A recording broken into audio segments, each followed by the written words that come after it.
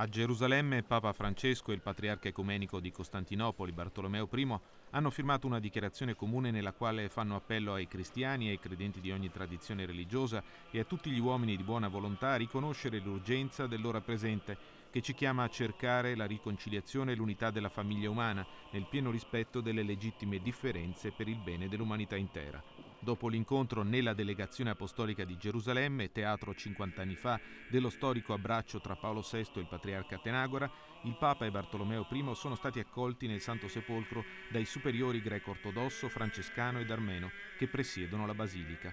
Per la prima volta nella storia della cristianità tutte le chiese di Terra Santa hanno partecipato insieme ad una celebrazione ecumenica.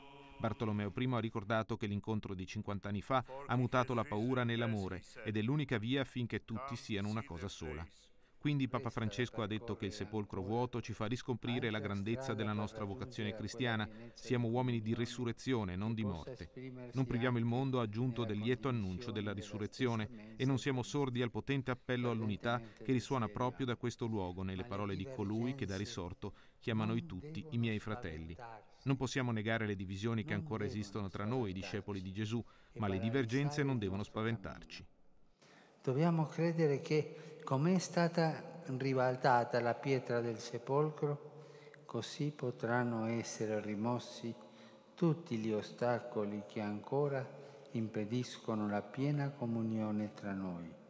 Ed ha concluso auspicando che si possa trovare una forma di esercizio del ministero petrino che permetta al vescovo di Roma di svolgere un servizio di amore e comunione riconosciuto da tutti.